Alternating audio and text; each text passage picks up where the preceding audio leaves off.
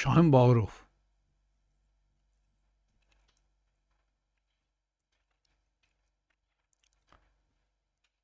Deməli, 3 gün əvvəl mətbuatda belə bir material getdi ki, Gömrük Komitəsində bir qazi ilə gömrük əməkdaşı arasında bir insident yaşandı. Və sonradan nə baş verdi? İndi onları sizin diqqətinizə çatdıracağam. Həmin video görüntüdə açıq şəkildə görünür ki, gömrük işçisi Aqil İbadov sahibkarlardan əlavə pul tələb eləyir. Yəni artıq bizdə sahibkarlardan pul tələb eləmə bilirsiniz bir bir növü adətdir. Yəni tələb eləməsən sənə pis baxarlar. Bizdə artıq bu cür bir fikir formalaşıbdı. Görürsüz o günləri mən rəhmətli özünü öldürən oğlanla bağlı Dəl Məmmədlidən yol polis əməkdaşları ilə mübahisəsə sinəsindən yumruqla vururlar, sonradan gəlir ürək partlayır, infarkt keçirdir, dünyasını dəyişir. Və Goranboy rayon prokuroru mərhumun anasına deyir ki, qardaşına deyir ki, burada nə var ki? Yol polisi əməkdaşları hamıdan pul alır da. Zaten biz faktları, sübutları və dəlilləri də burada efirdən göstərdik ki, polis əməkdaşları ilk Nə ilə razılaşırlar? Ondan sonra qanunsuz olaraq maşını bunlar e, güya sürən adama təzədən verirlər. Maddi şey qarşılığında. Sonra keçirlər körpünün otayında pullarını alırlar, çıxıb gedirlər.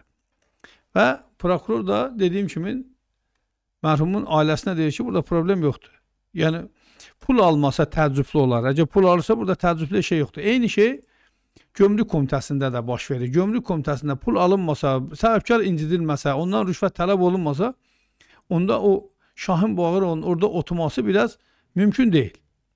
Şahin Bağırov Səfər Mehdiyevdən sonra gələndə hamı ümidlənmişdi. Hamı ümidləndi ki, sən Səfər Mehdiyevi mafiyasını dağıdacaq və özü orada normal bir komitə yaradacaqdı ən azı mən demirəm, o rüşvəti tamamilə kəsmək mümkündür. Ümumiyyətcə bu rüşvətin kökünü kəsmək qeyri-mümkündür. İranda kəsirlər, əlin, ayağın yenə də rüşvət alırlar. Yəni rüşvət alan alacaqdır, amma bunu bir var kütləvi şəkildə və eyni açıq sırtıqcasına, həyasızcasına istənilməsi, bir dəfə qapalı şəkildə. Mən bir dəfə Qazaxstanla bağlı sizə bir misal çəkmişdim. Mənim bir yaxın dostum var, Qazaxstanda yaşayır. Burada deməli biz bir e, istəyirik redaksiya tikək, həmin uzun illər bundan qabaq Hacı Balabtalibovun vaxtında onun bir adamları vardı. Biz onlarla görüşdük ki, bizə orada 5 sot yerdə icazə versinlər biz 3 mərtəbəli bir bina tikək. 5 sotun içərisində. İndi bilmirəm orada 3 sotuna tikinti icazə verəcəkdilər. 3 mərtəbə tikək, redaksiya eləyək. Və Hacıbala Abtalibovun adamı mənə dedi ki, tək Hacıbala müəllim 240 min pul istəyir. Ondan sonra nə bilim 50 min fövqəladə istəyir, nə bilim kim kim kim gəldi hesabladıq, baxdıq gördük ki, bu yarım milyona yaxın mənə pul lazımdır ki, mən ancaq rüşvət verəm. Bununla da iş bağlandı, getdi. Bu dostum Qazaxstandan gələndə belə söhbət düşdü Qazaxstandakı da vəziyyətlə bağlı. Dedi ki, ha bizdə də rüşvət var. Mən də bir bina tikdim özümə. Aşağısı nə üstün ev elədim, nə bilim ikinci mərtəbəsini ofis elədim, birinci mərtəbəsi nə bilim qaraj elə şey elədim, servis elədim, nə elədim? Hə, dedim ki, çox verdin rüşvətə. Deyir, hə, deyir, dedim ki, nə qədər verdin? Dedi ki, hə, almır. Deyir, onda köhnə bazarın, yəni Koxoz bazarının zibilxanasına deyə mənə çağırdı ki, gəl burada işin var, sən getdim ora 800 dollar ona deyə mən rüşvət verdim. mən güldüm. Dedim, hə, sən Azərbaycan məmuruna 800 dollar rüşvət verəsən o binanın qarşılığında, sənin alnının ortasından güllə ilə vurarlar. Nə danışsan hə sən? Sən xalqı təhqir eləyəsən, sən aşağılayasan. Sən o şərəf və ləyaqətin təhqir eləyəsən 800 dollarla. Yəni bizdə biraz fərqlidir. Qazaxstanda məsələn 800 manata olan, 800 dollara olan iş bizdə yarım milyona başa gəlir.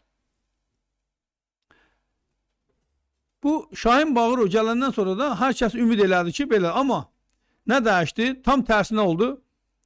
Deməli, e, xaricdən mal gətirən sahibkarlar artıq canlı yayımlar verməyə başladılar Gömrük Komitəsinin qabağına və təəssüf ki, bu gün də ona heç kəs heç nə demirəm. Şahin Bağırovla bağlı sizə bəzi diqqət elə diqqət çəkən məlumatlar verəcəyəm ki, dostlar. Və bu məlumatları heç yerdə eşitməyibsiniz. Yəni biləsiniz.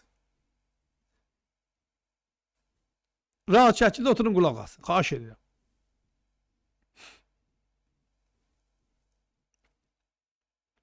Deməli, gömrük işçisi Aqil İbadov sahibkardan əlavə pul tələb edir. Sahibkar Elçin Xancı, Qazlı, Xancı Qazlı sona qədər bunu etməli olur. Sahibkarı provokasiya çəkən gömrük işçisi öz istəyinə nail olur və nəticədə sahibkarın bu özbaşınalığına etiraz etmək üçün söyüş söyməkdən başqa yolu qalmır. Video yayılan gün Gömrük Komitəsi açıqlama yaydı və bildirdi ki, qarşı tərəf, yəni sahibkar, təmsilçiliklə bağlı etibarnaməsi olmadan mallarını rəsmiləşdirmək istəyib və insidentlə bağlı ətraflı araşdırma aparılması üçün hüquq mühafizə orqanlarına müraciət olunub. Dünən isə həmin sahibkar, yəni Elçin bəy, Səbahin rayon məhkəməsinin qərarı ilə 20 gün müddətinə həbs edildi. Söyük söydüyünə görə gömrük komitəsində. Bu ölkədə rüşvət almağa görə adam həbs olunmur. Söyük söyməyə görə adam həbs olunur. Həqiqət isə belədir. Söyüşlə nəticələnən insidentdə həmin sahib, sahibkar dəyəri 28.900 dollar olan mala görə qanunla 6647 dolları ödəməli halda ondan qanunsuz olaraq 17940 dollar ödəmə tələb olunub. Deməli, az qala gətirdiyi malın 80 faizi. 80 faizi. Həmin inspektor əlavə sahibkardan 300 dollar da tip xərcli istəyib. Yəni, mübahisədə sahibkardan tələb olunan qeyri-qanuni pulun istənilməsindən sonra mübahisə də sahibkardan deyil, həmin o qeyri-qanuni pulun tələb olunmasından sonra başlayıbdır. Bunun bütün bunlarda video görüntülərdə var. Həmçinin İbadov da ona ağır söyüşlə söyərək üstünə hücum çəkir. Kömrüyün işçisi. Təbii ki, istənilən qanunsuzluğa söyüşlə cavab vermək yol verilməzdir. Amma gömrükdəki rüşvətxorluğa qarşı qanunla mübarizə aparmaq da mümkün deyil. Sahibkarın dərisini soyurlar. Dövlət Gömrək Komitəsinin həbs etdirdiyi sahibkar Elçin Xancıqazlı 2-ci Qarabağ müharibəsi qazisidir. Elçin bəy saxta qazi deyil. Füzulinin, Cəbrailin, Şuşanın alınmasında iştirak edib. Prezident Əliyev tərəfindən bir neçə medalla təltif olunub. Elçin bəy heç kəsdən əlavə imtiyaz tələb etməyib. Sadəcə rüşvət vermək istəməyib. Buna görə də onu təxribata çəkib həbs elədilər. Əslində bu nədir dostlar? Gözü çıxmış qardaşından dərs götürmək şeyidir, metodudur bu. Yəni qazini haqlı olaraq etdiyi tələblərdən dolayı haqlı olaraq ha həbs eləyirlərsə siz baxın görün qazi olmayan bir Azərbaycan vətəndaşının başına nə oynaçarıq mesajı verir Gömrük Komitəsi ilə hüquq mühafizə orqanları.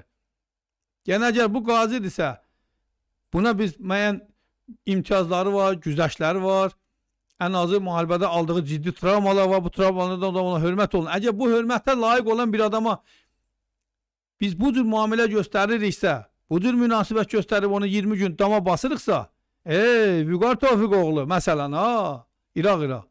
Gör, sənin başvan oynaçaram. Az canlı yayımlar aç. Az oradan maşın gətirəndə çıxıb canlı açıb deməcəyinə məndən bu qədər rüşvət istəyirlər, bu qədər pul tələb eləyirlər. Əslində bu cinayətdir, cinayətə də göz yumulur.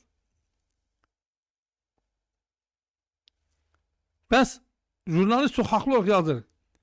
Qazidən pul tələb edən gömrük işçisi necə? Təzəlandı mı? Yox. Sahibkarlar arasında üzr istəyirəm ifadəmə görə, burada jurnalist nə yazıb onu oxuyuram. Sahibkarlar arasında Suka Aqil kimi tanınan şəxs bunu Post TV paylaşıb. Əlavə pul, rüşvət tələb etdiyinə görə cəzalandırılacaqmı? İnanmıram.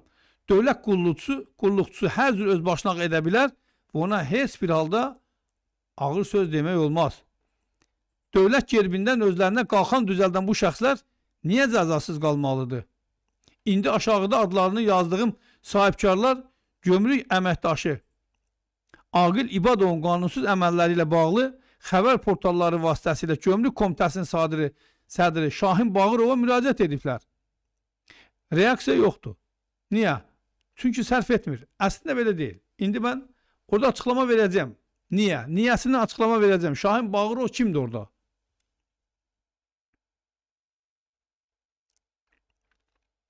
Çünki Aqil İbadov Bakı Baş Gömrük İdarəsində pul yığan maşın funksiyasını yerinə yetirir. Sahibkarları şərləyir, nəticədə tələb etdiyi pulu alır. Öz əməkdaşının söyülməsinə dözməyən gömrük komitəsi sahibkarların söyülməsinə və soyulmasına reaksiya vermir.